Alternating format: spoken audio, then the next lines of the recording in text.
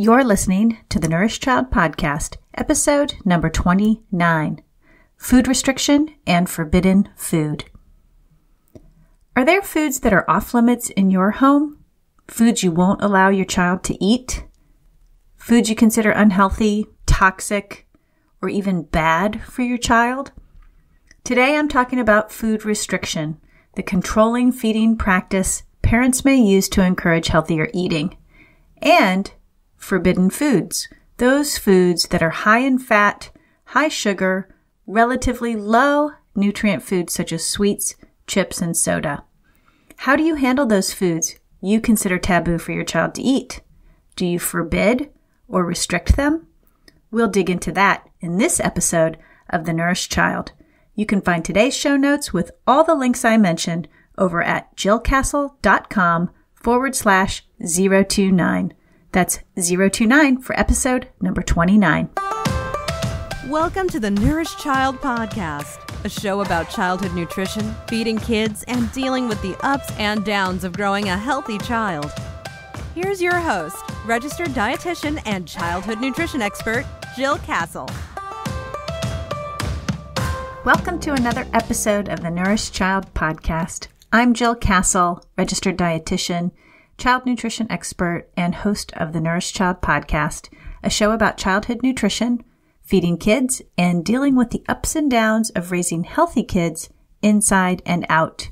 You can find more articles, resources, e-courses, and guides over on my website, jillcastle.com. Friends, I am so excited you're tuning in today because I am digging into an important and perhaps sensitive topic food restriction, and forbidden foods. These two topics are compelling on their own, but put them together, restricting forbidden foods, and whoa, things can get a little bit uncomfortable. My hope for today is to showcase what we know about these topics, allow you to check in with your own stuff, and offer up some alternative approaches. I personally was introduced to the forbidden food concept when I was about nine or 10 years old. At that time, I had been regularly sneaking back to my parents' room, snooping around my mother's makeup and perfume that she kept on her bureau. One day, I opened her lingerie drawer to look around, and there it was a gigantic yellow bag of peanut M&Ms, shoved to the back of the drawer and covered in, well, lingerie. it was amazing. I thought, how lucky am I to have found this? It was obviously very special to my mother because it was hidden. And it was hidden from me, not only, but also the rest of my siblings. I was drawn back to her room day after day when she was in the basement doing laundry, outside tending to her garden, talking to a friend on the phone. I went back there every chance I could get to sneak a little handful of M&Ms. But soon I grew concerned that she would be able to tell that someone had been taking them I was afraid I would get in trouble if she found out it was me. So, Mom, if you're listening, it was me. I was the one who was uh, sneaking back to your room and grabbing your M&Ms. My fear of getting caught eventually stopped me, but my thoughts about candy, I have to say, was probably forever changed by that initial moment. You see, we never had candy in the house regularly only at special occasions, Halloween, or if my parents had a party, uh, we would have desserts around. I could never keep my Halloween candy for very long. I would go- gobble it up as fast as I could. My sister, on the other hand, who I shared a room with, she'd have her bag of Halloween candy for months. She would hide it. She'd have to, else I would find it and sneak some of her candy. Sweets, especially candy, obviously hold a special place for me. Often, when I travel for speaking engagements or travel for work, my little reward to myself is a little pack of candy in the airport. I think my mom hid her stash of candy because she instinctively knew what would happen to it if it was mainstreamed into our family kitchen. Her four kids would find it and inhale it before she ever got the chance to enjoy it. But I often think about this, and as I was writing this show out and, and doing my research for it and reviewing the notes, I thought to myself, why was I the one who seemed to be most triggered by candy? Was it because it was scarce in my house growing up? Was it because it was hidden and I found it? And that set off a cascade of ideas about how special it must be because it was hidden? Was it my personality or my temperament as the basis for my sincere liking of sweets? When parents feel they have to control food through restriction, making its availability scarce or limited, it may have detrimental effects on the child. Sit tight because we are going to comb through this one. But first, let's catch up. At the time of this recording, I am about two weeks out from a recent getaway with my husband uh, which was lovely and wonderful and everything great. Uh, a everything great a little vacation is in the middle of winter. But what happened when we were on vacation, my computer crashed and it most definitely was a big distraction for me on vacation. It pushed my stress level off the charts, to be quite honest. I had appointment schedules uh, in my computer. I had an almost finished ebook on starting solids. I had eight slide presentations for this spring that were sitting on that computer. And my new course for young athletes was also sitting on that computer. And I had unfortunately not made a backup in about three weeks. So I was stressed, no doubt. I learned a big lesson and that is to back up my computer every single night and offload any photos or audio or archives to an external hard drive. I tell you that because my lesson was painful. The good news is um, I was able to uh, reclaim all that information and get it back. Um, but I will tell you that there was a good week that uh, I was stressed out about the whole thing. So I learned a painful lesson, but all is good now. Uh, I just got back from visiting Massachusetts and Texas to speak to other nutrition professionals about feeding styles and practices and how they can mold a child's food preferences, their eating, and their weight. I love teaching these topics to other nutrition professionals because I want them to be a good resource of positive feeding for parents like you. I just released four brand new e guides. These have been percolating for quite some time, and I finally was able to complete them all and get them released. So, for your information and perhaps your interest, I have two brand new e guides for athletes. One is called Fast and Nutritious Breakfast Breakfasts for Young Athletes, and the other one is called Fuel Up dinner recipes for young athletes. Um, I also have nutrients for kids advanced guide ebook and the healthy snack planner for kids. All of these are available on my website at www.jillcastle.com forward slash books authored by Jill Castle. Coming soon in June, I will have two exciting opportunities for you to work with me. So if you're a parent, I'm putting together a VIP, which stands for Very Informed Parent Summer School. It's a five week group coaching program covering the essentials of healthy, balanced food for your child, a feeding strategy that supports regulated eating, and I cover the healthy habits children need to grow up happy and healthy. So I wanted to kick it off in June to help you handle the unpredictability of summer feeding and eating while also putting in place a game plan for those indulgent foods only summer can bring. So I'm limiting that opportunity to only 20 parents so that we can group coach together and there is a high level of interaction with me. So if you're struggling with your child, you're feeding um, or your food system that you have in your home and it's getting to be a little bit burdensome for you, this is the perfect opportunity because I can not only lay the foundation of the things that uh, you need to know that we know is effective, uh, but also you get access uh, to some coaching with me to really specifically go through um, your challenges. And then the other opportunities, if you are a professional, I am launching a Food Parenting Pro mini workshop series. It's a four week live interactive workshop covering the essentials of positive food parenting so that you have the tools and resources to bring this component of childhood nutrition into your practice.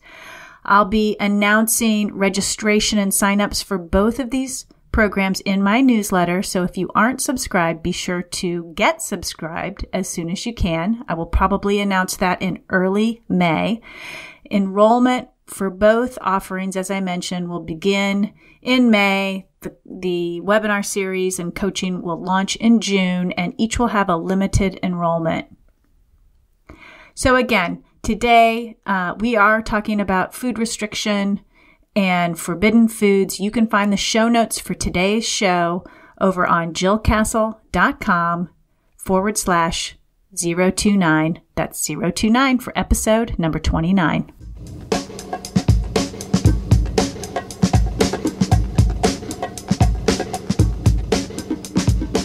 Let's dig into food restriction and forbidden foods. I did a little bit of research. I wanted to gather some of the latest stuff and back it up a little bit so that you have um, a good sense of how really complicated this can be, but also pretty straightforward. So, a journal article from 20 over 20 years ago called Psychological Consequences of Food Restriction. Came from 1996 in the Journal of the American Dietetic Association. And this was an interesting uh, conclusion slash summary of this notion. So here it goes. Starvation and self imposed dieting appear to result in eating binges once food is available and in psychological manifestations such as preoccupation with food and eating, increased emotional responsiveness and unease, and distractibility. Instead, healthful, balanced eating without specific food restrictions should be recommended as a long term strategy to avoid the perils of restrictive dieting.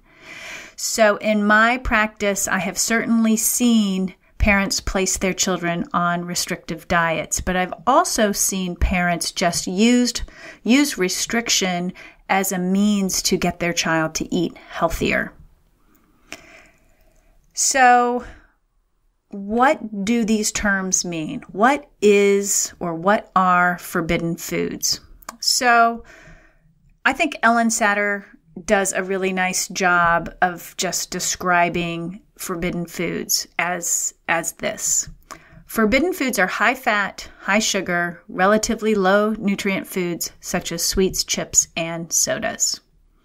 So I've called these very same foods by the name fun foods, and we outline that, my co author and I, in Fearless Feeding. We talk about fun foods in that book, and I talk about fun foods with my clients.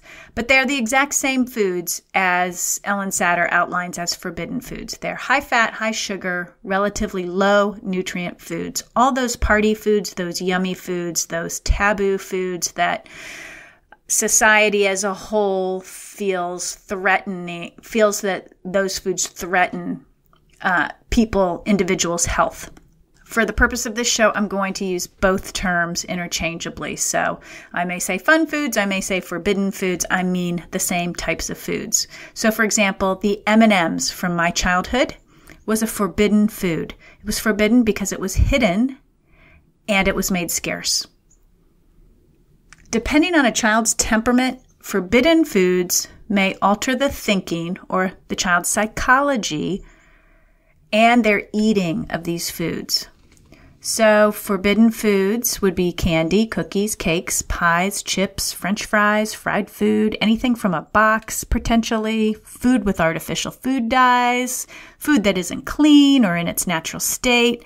Basically, you know, what is forbidden food is highly individualized to the family, the family food values, and its culture uh, the culture around food and eating, and even perhaps socioeconomics can play into which foods are considered forbidden foods. So, when we talk about the overall idea of a forbidden food, it can change from family to family, person to person.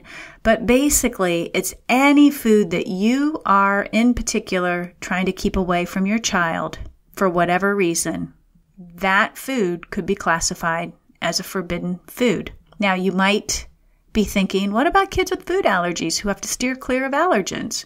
Well, yeah, allergens are food allergens would be a forbidden food.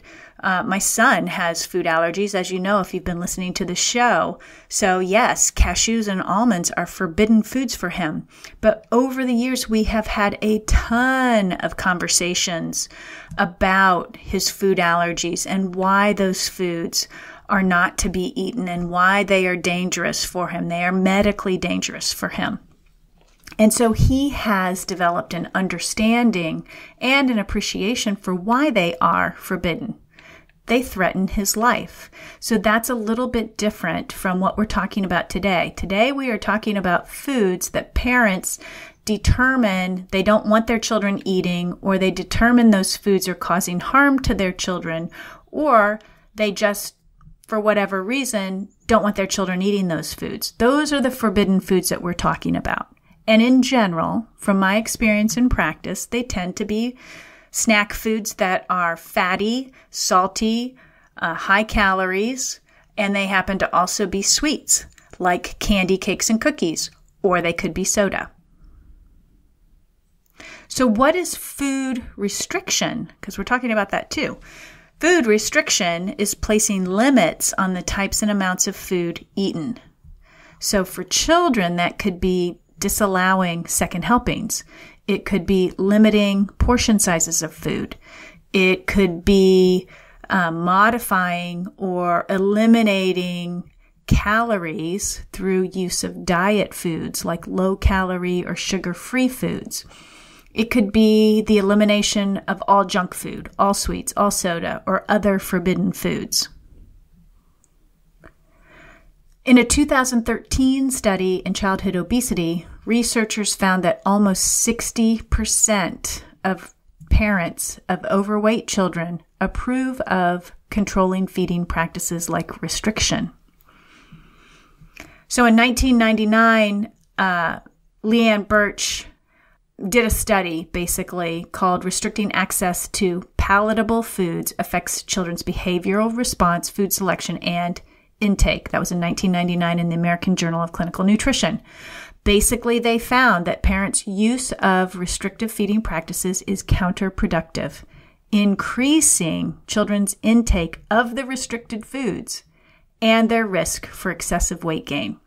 So, bottom line, in a nutshell, what does that mean?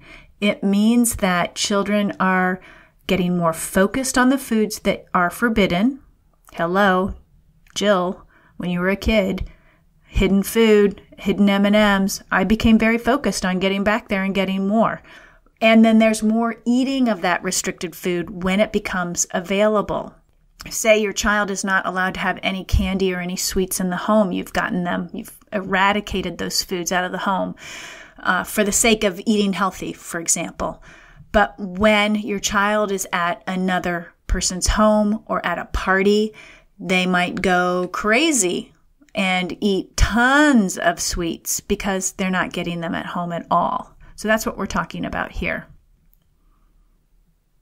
They also found that children had more positive comments, requests, and attempts to access the restricted food. So I always, when I talk about this on my, when I'm speaking around the country, I always give sort of the example of wine because or you know your favorite cocktail or what have you because i'm oftentimes speaking to adults and they can relate to this so if i tell you that you are not allowed to have uh, your wine anymore. Or if you're if you're not a drink a person who drinks alcohol, perhaps you like Diet Coke or you like some particular drink. And I'm telling you, you know what, for the sake of your health, we need to get you in a better place. No more wine for you, no more soda for you, no more whatever your favorite drink is. Done. No more. I'm taking it out of the house. I'm removing access. We're not having this anymore. What do you, how are you going to feel? What are what are you going to feel? You're going to feel perhaps disappointed, upset. Maybe you have an urge to be rebellious. Perhaps you become much more in a in a mindset where you're thinking about that particular beverage, beverage more than you ever have before. So it's very interesting. When we take away a particular food, we can become the psychological impact of that is that we can become more focused on it. We can eat more of it when we have the opportunity to. So in 2014, Leann Birch and her team wanted to look further at this idea that restriction uh, causes children to eat more, become more focused on that food, and to change their thinking about it. So they reconducted or they conducted another study to identify the characteristics of children who are more susceptible to the negative effects of restriction. Because the question is, why, again, why was I more focused on the M&Ms and my siblings were not? My sister knew they were back there. She could care less. So why was it me and not her? So that's what this study did. It, it really was aimed at looking at children's temperament and seeing uh, if that explained the situation a little bit more. And it does. It does. So I want to go through some of their findings here. So they found that the effects of restriction differed by children's regulatory and appetite tendencies. So in the re- in their research, they used graham crackers, which were sweet, and cheesy crackers, which were sa- savory. So, in their study, they found uh, that greater food consumption happened in response to restriction.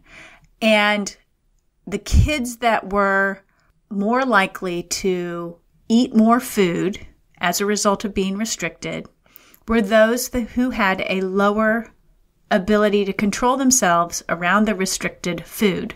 So those kids ate more Kids who had greater levels of excitement in anticipation of pleasurable activities like prizes and food. These kids could not put the brakes on when eating a restricted food, and they ate more as well.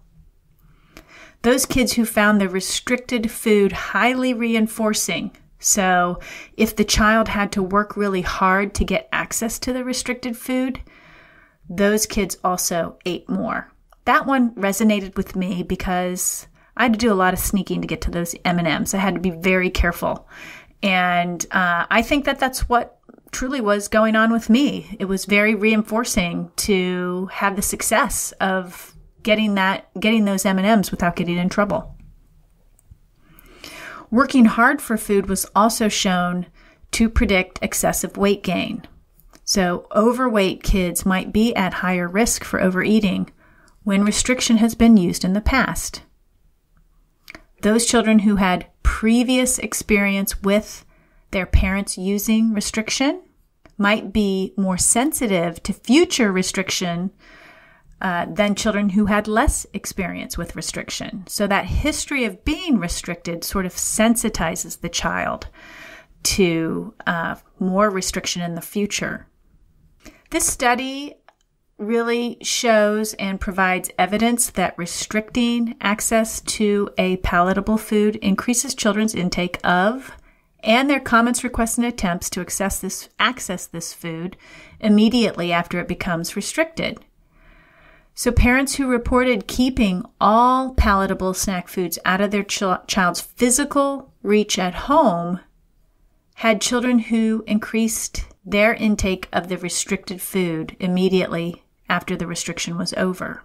So if you're hiding snack foods for example, and they're out of reach, but your child knows they're there, but they're out of reach. Those kids, when they have access to them, may eat more than they normally would.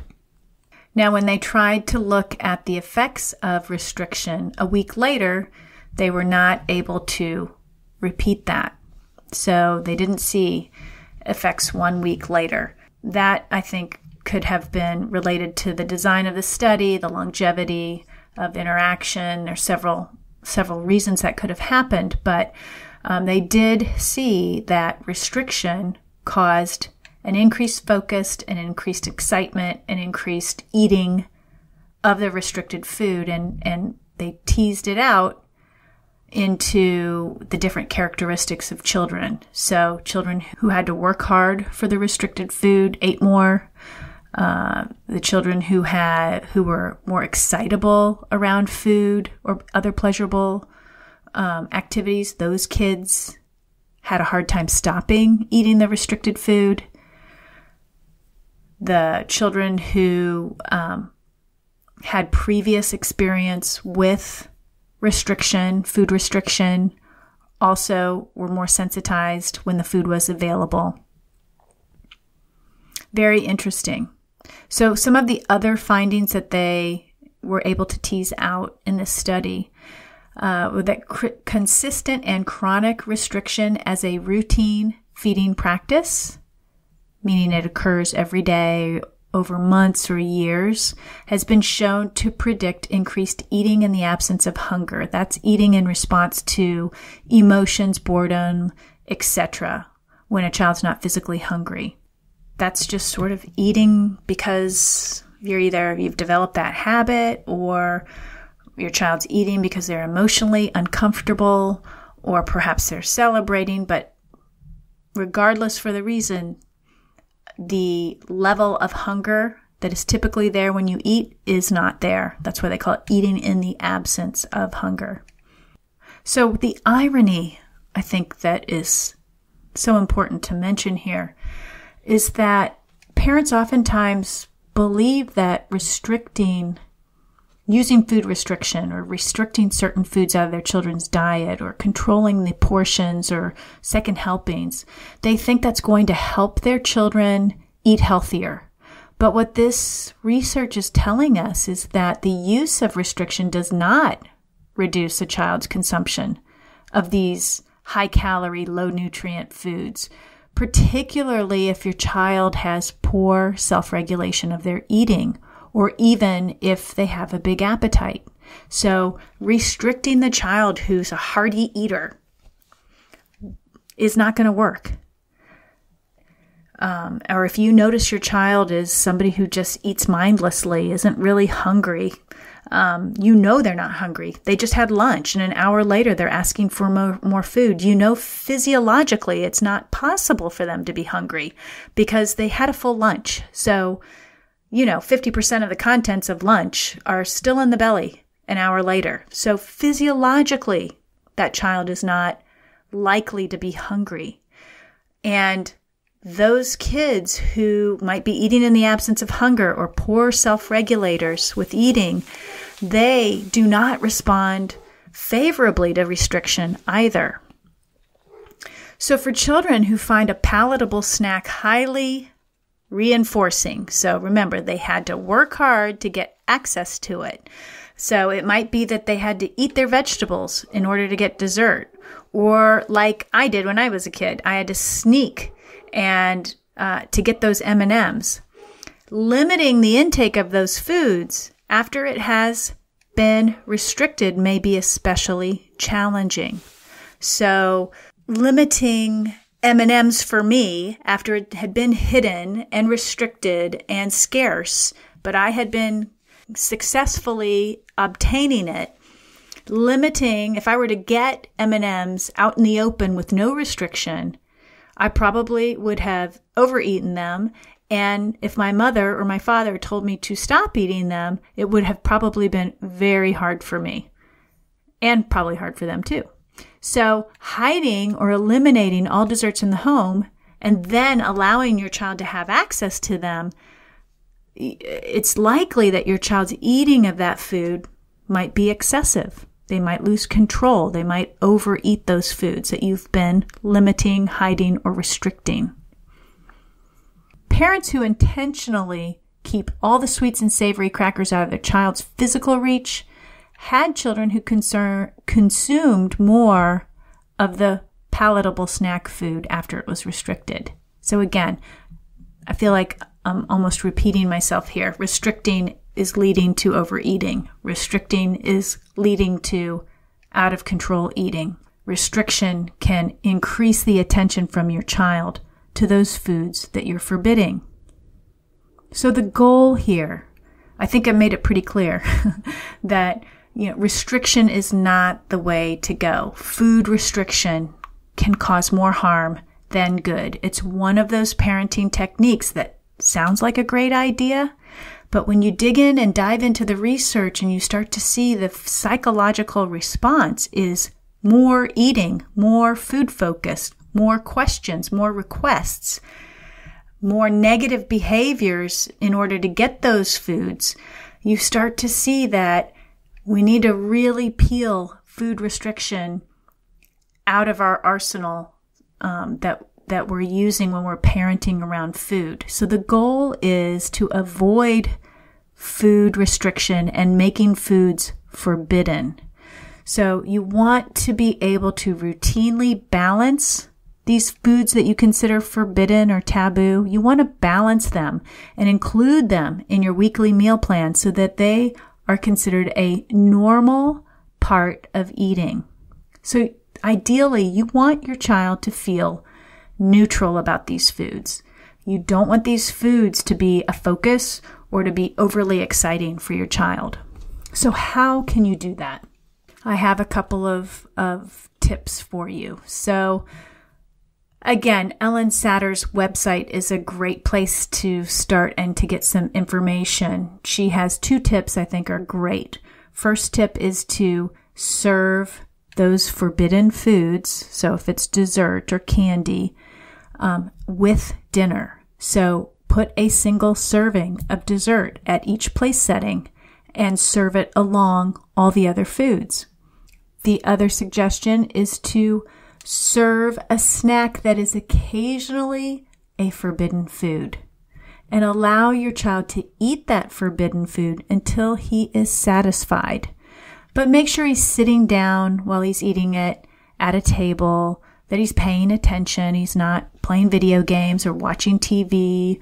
At the same time, you want your child, when they're having any snack, whether it's forbidden food snack or regular snack, you want your child to pay attention while they're eating. You want them to sit and attend to snack, eat it, and get up and move on and do the other things of their day. I use these two tips. I offer these two tips up to my clients as well. Serve it with dinner, serve it as a snack occasionally. I know I've said on this show before that, you know, Fridays was the day of the week when my children were younger that we went right to the ice cream shop after school. I had to pick them up and we went right to the ice cream shop. They knew Friday was ice cream day and that was snack. I didn't try to change that or make it healthy. I let them have whatever they wanted at the ice cream store, and they looked forward to that. The other thing that I do remind families, and it's a tip I want to share here with you today, is that when you are offering dessert or you are allowing some of these fun foods or forbidden foods, don't attach strings to them don't require a certain level of eating performance. Don't make them eat their broccoli in order to get their dessert. If you're deciding to serve dessert, you're deciding to serve dessert. It's no strings attached. Everybody gets it. It's not based on how well you eat. It's everybody gets it.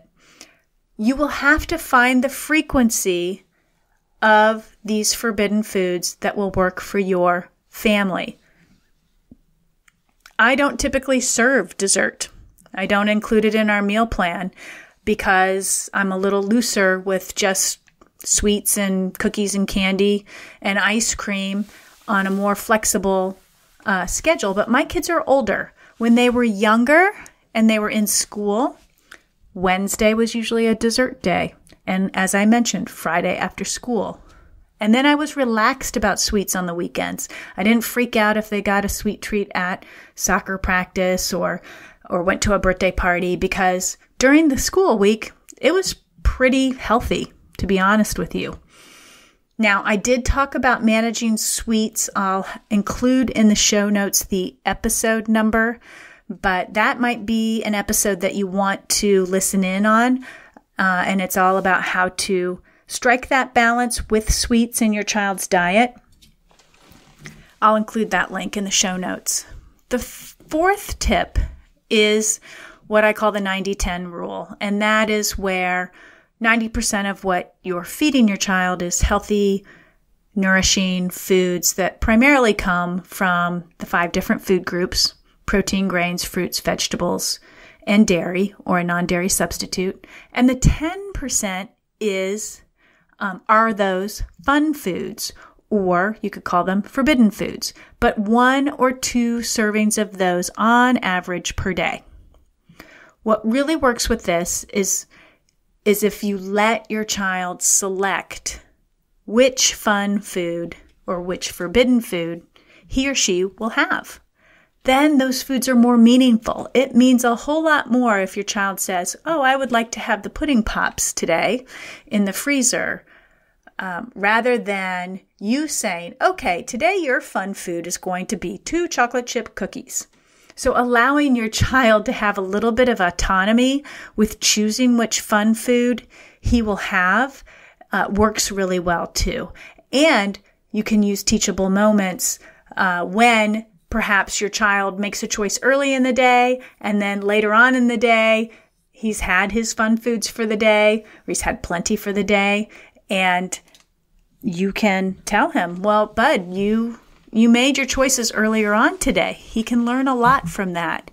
He can learn to think about which fun foods he wants and think about his food choices a little bit more. And the fifth tip is to make sure you have structure with feeding. So I talk about this all the time. I don't want to sound like a broken wheel, but I think it is very important to have meals and snacks on a timely rhythm in your home, in a routine location without distraction, and showcasing a balance of nourishing foods. That structure, meaning things happen at the same time approximately day in and day out, builds a lot of predictability in the food and nutrition system you use in your home, but it also creates space between meals and snacks or between eating sessions so that your child has an opportunity to build up an appetite. Allowing that every hour on the hour snick snacking all day long is not going to generate a child who comes to the dinner table to eat his healthy meal because he's not going to have an appetite. So, again, I talk about structure and that balance in another episode of The Nourished Child, and I will include that link as well. And then the last tip is setting up boundaries. My favorite, you know, is closing the kitchen between meals and snacks. So, literally or figuratively, because literally would mean you have a door that you actually close to your kitchen, and most of us do not. But the policy is that the kitchen is closed when meals are over and snacks are over, the kitchen is closed. So that will really help also making sure that your child's eating with a rhythm, feeling hungry when he needs to be feeling hungry, and satisfied after meal time. So he's less likely to potentially be driven f- towards those forbidden foods due to hunger.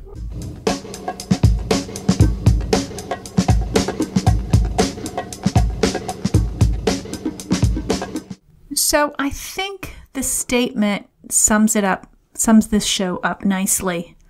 We want the things we cannot have. The same goes for kids. If we take food away, we restrict it, we make it forbidden, they are going to want those foods even more. And when they're around them, they may overconsume them, losing control. And when they can't have them, but they know about them, they might be thinking about them a lot more than they should be or than is healthy for them. So I want to leave you with a couple of thoughts. Were you ever restricted in your eating as a child? Do you have memories of forbidden foods? I can tell you it took me a long time to remember the peanut M&Ms and even longer to figure out how it fit into my relationship with food, my own eating, and how I have fed my own children. What has struck me most as I connected the dots is the fact that I haven't hid candy from my own kids. I think intuitively or in my subconscious, I recognized the dangerous power food restriction and forbidden food can have, and I avoided restricting candy from my own food parenting arsenal along the way. So I encourage you to reflect on your own feeding habits, reflect on whether you are using restriction, and think about is it effective? Think about what we discussed, what I what I shared with you here today think about your child's response to restriction. Is it really working for her or him? It's something I want you to think about. So I hope you liked today's show. I would love it if you could help the Nourish Child podcast grow. You can write a review on iTunes, subscribe to the show on iTunes or Android, Stitcher Radio, Google Play Music, TuneIn, and more. Share the podcast on social media Facebook, Twitter, LinkedIn, Pinterest, Instagram, wherever you hang out. If you'd like to review on iTunes, it is super simple.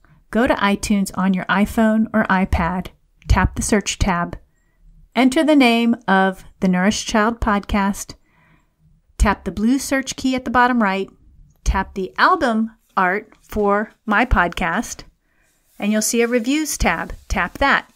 You can write a review. There's a little button at the bottom you can tap. And then enter your iTunes password to log in. Tap the stars to leave a rating or enter text and content to leave a review and tap send. I would love it if you would pop on over to iTunes and rate and review this show. The more ratings and reviews the Nourished Child podcast has, the more it will come up in search for other parents and caretakers who are trying to find more help with feeding and nourishing their child. As always, thank you for joining me today. I am so very glad you were here. Please be sure to give that child in your life, big or small, a loving squeeze today. Bye for now. Thanks for listening to the Nourish Child Podcast, where the number one goal is to help you grow a nourished child inside and out.